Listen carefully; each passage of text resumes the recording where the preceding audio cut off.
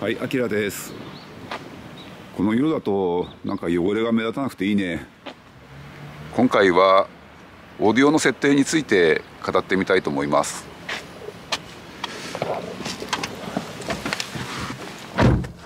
これですね、今回ツイーターつけたり、まあデッドニングちょっとインチキだけども、これオーディオね、これ鳴らしてるのはね、あの、まあ標準っていうかメーカーじゃオプションじゃないな、これデーラーオプションになるのか。ホンダ純正のギャザスの、えー7インチエントリーナビっていうやつですね。カタログに載ってるやつで一番安いやつですね。これね、あの一番高いやつがね、8インチのプレミアムナビって言って、まあそれが一番、まあデーラー的にはおすすめなんでしょうね。あれがね、このパネルとつらいちになってね、えーえらいかっこいいんですね。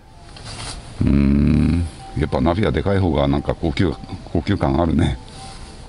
で、それだとね、やっぱ20万以上しちゃうんでね、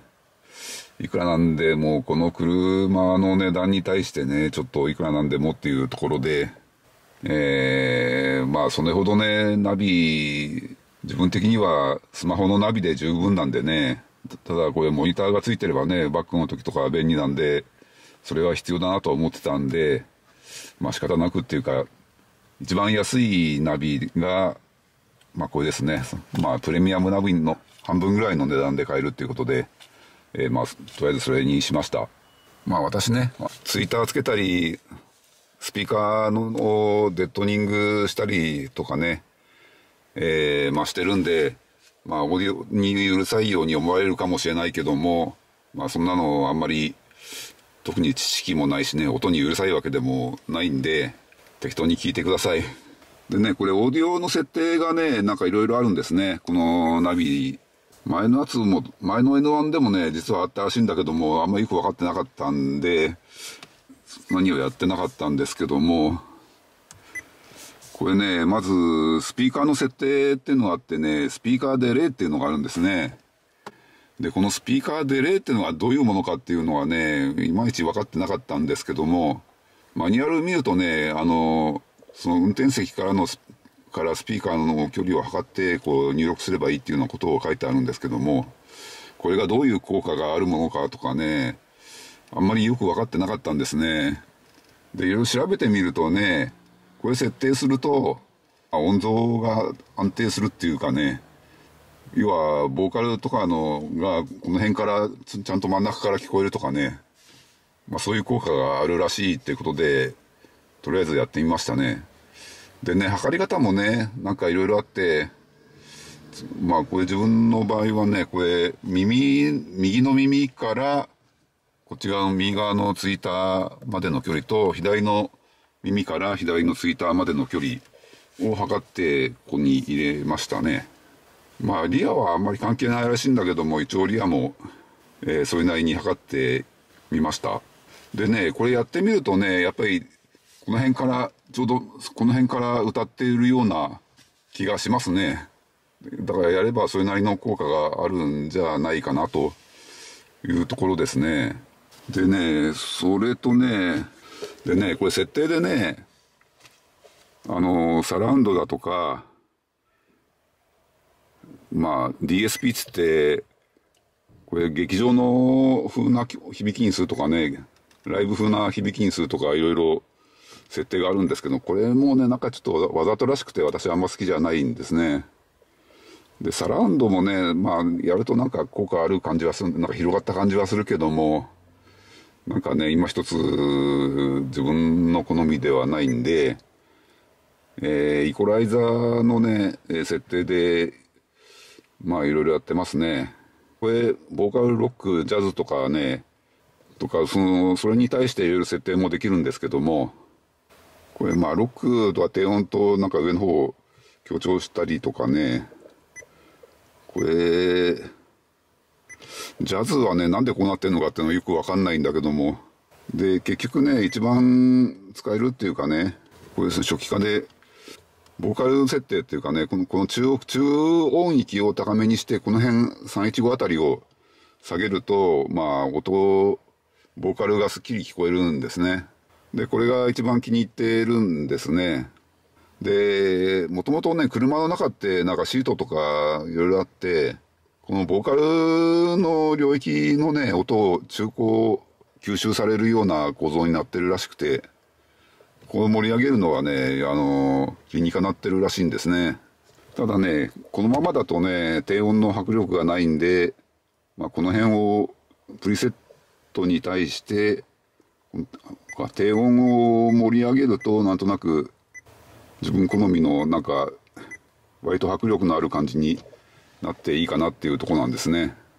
ちょっとやってみましょう。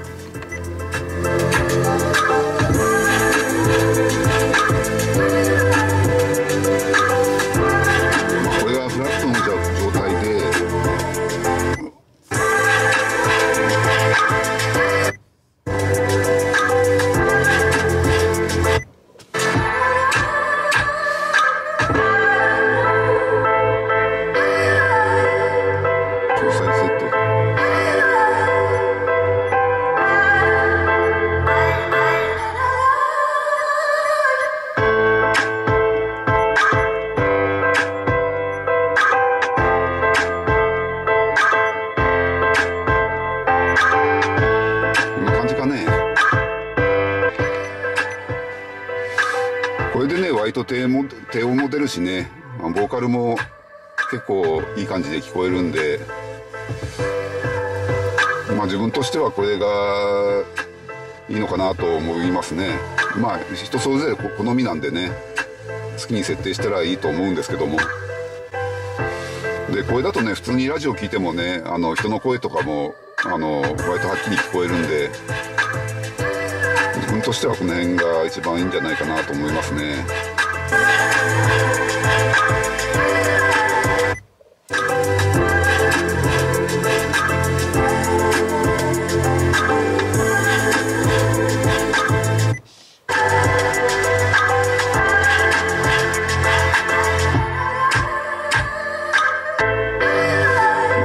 ロックだと思うな。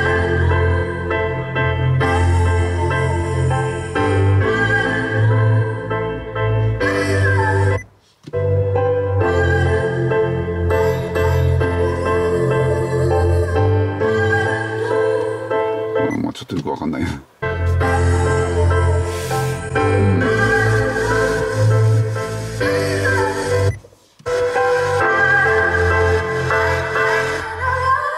これフリー素材だとね、ボーカル入ってないんでね、あんまり違いわかんないかもしれないけど。こ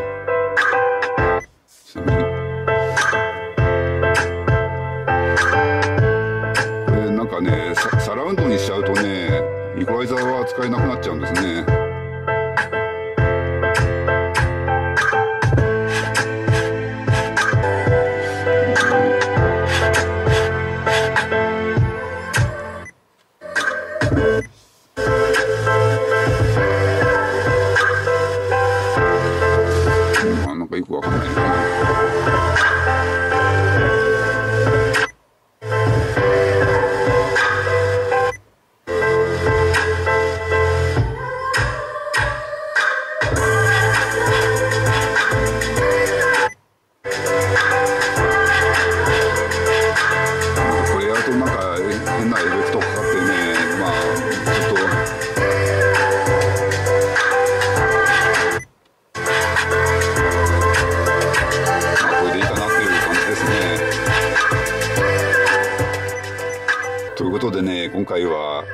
オーディオの設定についてね、ちょっと語ってみました。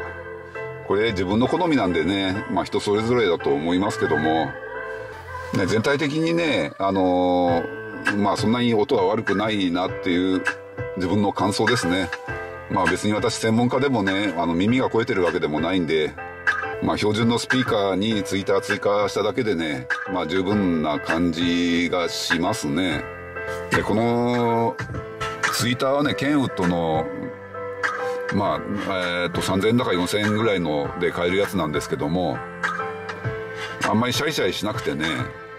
なんかいい感じだと思いますよ。まあ中国製のなんか安いやつ1000円ぐらいで買えるやつもあるんだけども、それだとなんかちょっとシャイシャイした感じになるやつもあるみたいですね。そういう感じではなくなんかしっとり聞こえるんで、まあ自分としては気に入ってますね。ということで今回は以上です。ご視聴ありがとうございます。